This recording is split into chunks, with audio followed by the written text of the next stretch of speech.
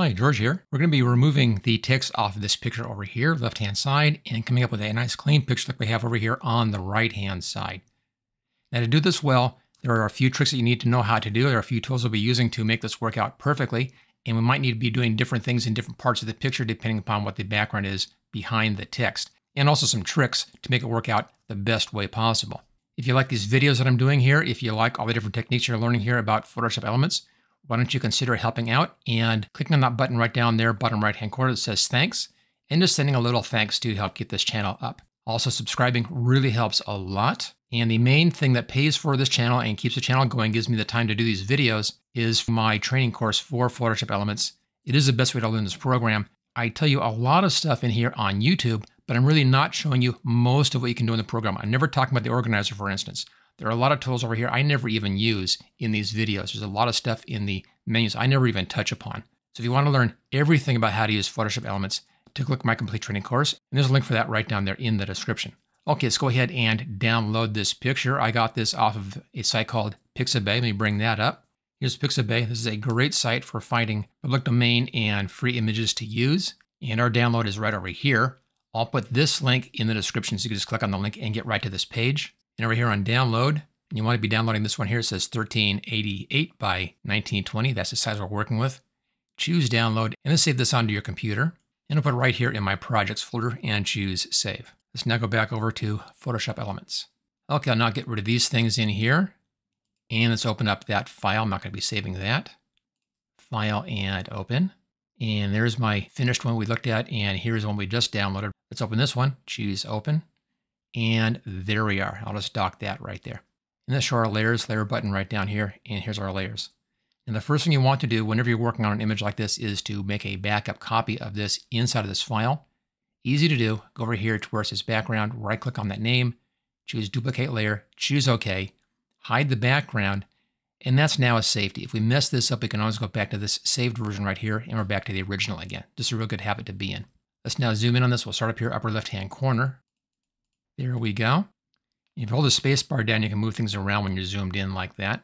The first tool I use for this is the Content Aware Fill, and that's in most of the more recent versions of Photoshop Elements. If you don't have that, I'll show you how to do this without that in just a moment. But we'll start off with that. So grab the lasso tool, it's right over here in the select section right there. And then take a look at your letter and see if there's anything sticking out like there's a bit of a brown shadow right here. Make sure you catch that shadow and come in and just come right around this. Don't go against the letters themselves, just kind of work just outside just a little ways. And I found this works out best if you do it one letter at a time. If you try all out at once, there's a good chance you're going to be getting other stuff inside of that. So the smaller your selection, the closer the clone stamp comes from. So make your selection real close to your letters. And then go to the edit menu, come down here to fill selection, and then right here you want content aware, which is that one. Set up mode normal, opacity 100%, choose OK, and there we go. It just magically goes away. Let's just do one more of those. And when I did that selection, I was on the new selection right down here, which means the next time I click, it goes away, what just happened just then. Just do one more. I'll do the A in here again, stay in fairly close. There we go. Don't get too far out. And come around here, back to the beginning, and then edit. Come down to fill selection, content aware, choose OK, and there we go. Click inside to deselect that. Or you can use the Control D keyboard shortcut if you want. Either way works out just fine. Okay, a couple of things I wanted to point out right now. One is get this a bit of kind of a, a darker area here. It's kind of ghosting a little bit. We can remove that real easily with a clone stamp tool right over here. You see there's a clone stamp tool size. I always have mine on a soft edge for this. And what you do is you come out just outside of that spot, find something else that matches it, hold the Alt key down, click on that spot, and then you can come over this and click over here and cover up that little bit. And that solved that perfectly. Now we have this duplication here. There's kind of a line here and a line here. I want to lose that line. So I'm going to go up here, grab a second spot, again, Alt key and click, and come over hit that line here. We now no longer have that line, so it's now perfectly hidden. So you may have to do a little bit of that. Now also with a clone stamp tool, this is what you would use if you don't happen to have the content aware fill, if you're working with an earlier version of Photoshop Elements. So for that, again, make sure you're on a soft edge brush. You may need to have a smaller size. You bring this down to 30 pixels for this particular picture. Your brush size will depend upon the size of your image. I'm gonna come out here, Alt key and click, and then just come in and just paint right over that. Now notice how I can see what I'll be painting in here. You can kind of see it right there. before I push. So I can see where I'm cloning from, and I can then copy that over. Now that is two things that's allowing that. One is here where it says aligned, and also it's set on show overlay and clipped. Now this is the defaults, so you probably can just leave that alone, but just in case you've been playing around with here, this is what you want. You want show overlay, 100%, clipped, and you want aligned, and then you're all set to go. Now you can use either method that you want. I'll use either one depending upon what I feel like, kind of what my mood is.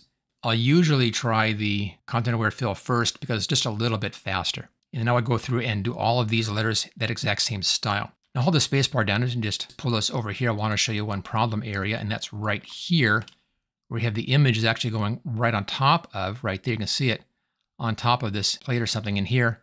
So let's go ahead and we'll fix this. Now, way you solve this one is we need to zoom in a bit closer. And then I want to grab my lasso tool. I have feathering set at zero, no feathering. And then I'll make a very careful lasso, just real careful right across here, right along this edge. And in here, I'm going to go right on top of that, and that's where that edge would be if that number 7 wasn't in front of it. Got a little ways, then up and around like that, and then back around to the beginning. And we can then work inside of that selection, and it's going to protect anything outside of the selection. Again, spacebar here, and we'll go back to the clone stamp tool. And I'll come right down here, Alt and click right there, and then there's our clone stamp. And then I'll come right along that edge, and notice I can clone stamp over that and clean that out without damaging that plate. So here's where that clone stamp tool and making a selection really helps. Now we have these two dark spots in there. You either can paint those up by getting a matching brown or I'll use the clone stamp tool again. This time I'll use the left square bracket and it brings my paintbrush size down. So it's just about the same size as that. And then right over here, now we need to get rid of this selection. So Control D to lose the selection. Hold the Alt key down and click right inside here. And then I'll just bring that right on top of that dot. Do that one more time, right on top of that dot, and that fixes that. So if you're against an edge like that, that's how you would fix that. Let's now back out a little bit and see how we're doing. I'll just do our zoom controller, just slide back out. Looks great here, looks good over there.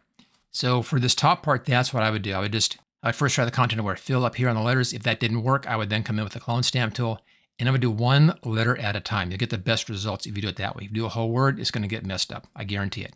So take your time and do one letter at a time. And that solves this area up here. Let's now hold the spacebar down. We'll take a look at the bottom down below.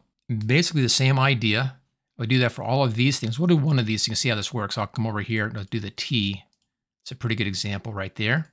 And again, take the lasso tool. I'm doing this one because there's this line in behind here. And the content aware fill is pretty good at things like that. And you'll see that here just a second. So let's come around and grab just the T, go in between those two letters here, back to the beginning, and then edit, fill selection, content aware, choose OK. And notice I did give us that line in there, and I did a good job. It kind of messed up right down here, just a little bit. Control D to deselect. And on that, I can just kind of soften that up to solve that. For that, I'll go back to the clone stamp tool. I have a pretty small brush size. You can see it right over here, right-hand side. Small brush tool. I'm going to come right up here Alt and click, and I'll just take just a little bit of that out. There we go, just enough, and then that now looks natural. I'll do the same thing right down on this side. Leave it right there. And that works. No one's going to spot that.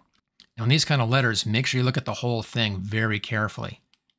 For instance, right over here on this letter, you have the dark part, the lighter part around it, and there's kind of a light area here, kind of a whiteness right here, and a little bit in there. So if you're making your selection, Make sure you grab that part as well. So we come down like this and go clear down around that bit right down there and then back up again. If you miss that, you'll have a white spot showing or a light spot showing on your selection it's not going to look as good. A lot of these have that light area in there, so just make sure you keep aware and look for everything that's part of that letter. Okay, so that's the basic bit in here, Control D to deselect. And let's do a Control Zero to fit screen again. One more thing I want to show you down in here, and that's this very large letter. The bigger area that you're going to be doing your selection on, the more chance it has of getting messed up and grabbing more stuff than you want. And this big C is a good chance for that. So on this kind of a setting, I would come in and get rid of these two parts first, get those out of the way, and then try this. And we'll see how this goes. And again, here's our lasso tool. And let's first get this little apostrophe out of here. Surround that, edit, fill selection, choose OK. There we go. That was perfect. Let's now do the E. Again, we're staying outside of that white area up there. I want to get rid of that as well, or we'll see kind of a ghost of an E in there. We don't want that. Try to get in close, but not too close, and make sure you get all of that part of the letter. Same thing, edit, fill selection, okay. And notice how it was a larger area, it's bigger than our other letters, so we got a little bit of something else. Now, if this happens, Control D to deselect, and then reselect it and do it again. Don't just use that same selection. I found it works better if you reselect and then come into close again. You have a much better chance of having this work out for you. So there we go. And then edit, fill selection, choose OK. And there it is. That's taken care of. Okay, so now take a look at the C. Now this is going to give us some of those problems. We'll take a couple of shots to get this to work. Same idea. Let's just come in here and make our selection around that very large C. And again, the larger your selection, the greater chance you have of getting those little kind of artifacts showing up in there, which will take some cleanup. So do your small stuff first, stay as small as long as you can, and you have better results. Okay, edit, fill selection. There we go. And actually it turned out very, very well. We only had just this one little spot down there. It's better than I was expecting. Let's just grab that one, real easy. Edit, and then fill selection. And there we go. Okay, let's go back to fit screen. And I'll just do this for all the letters. They all take the same technique. And there's one more thing I want to show you, and that's over here. Right-hand corner is kind of an address in here of the printer on this. This can be done either way. Because we're against an edge right here, I'll use the clone stamp tool on this. So I'll grab the clone stamp tool, and I'll use the right square bracket, to bring my size up, like that, so it's big enough to cover that lettering. Then I'm right over the line, hold the Alt key down. You see our little pointer here? Put that right on that line and click. I can then come in and I can reposition that line. There you see that? I get that exactly right, right here. And I can then clone from that spot. And that allows me to get that line in there perfectly. There we go. So I just work down like that using the clone stamp tool to get rid of that little bit. Okay, control zero, fit screen again. And there you have it. That is how I go through and that's exactly how I did clean up this image to get rid of that lettering in there to give you a clean image again. Either if you want to have different lettering, have it say something else, or use it differently. Now, if you enjoyed this video and you want to see more of these kinds of videos, then consider sending a thanks. Again, that's the thanks button bottom right-hand corner of the video. Or if you really want to learn how to use Photoshop Elements, the best way to do that is with my training course. My complete training course covers everything in the program. And there's a link for that in the description. Take a look at that and see what's involved. It's actually very inexpensive, but well worth it. And finally, don't forget to subscribe. That really does help this channel keep on going. And I'll see you next time.